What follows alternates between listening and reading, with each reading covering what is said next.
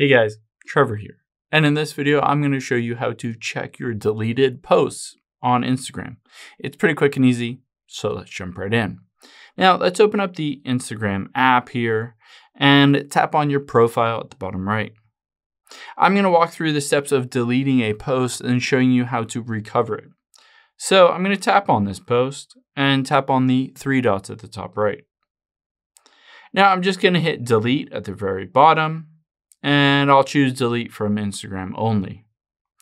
Now that I have removed it, I can tap on my profile again at the bottom right and tap on those three lines at the top right. After you do that, you're going to choose your activity midway down.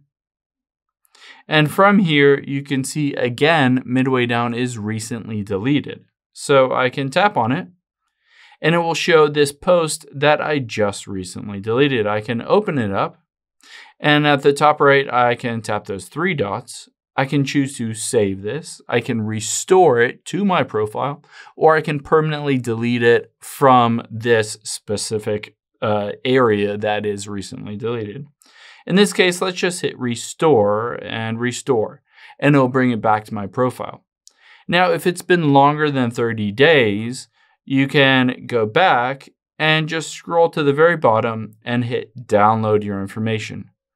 Go through the process of downloading your information and you'll be able to download specific posts if you want to, even though you went through the process of deleting them. I hope this helps. If it did, hit the subscribe button down below. It really helps me out. And I'll catch you on the next one.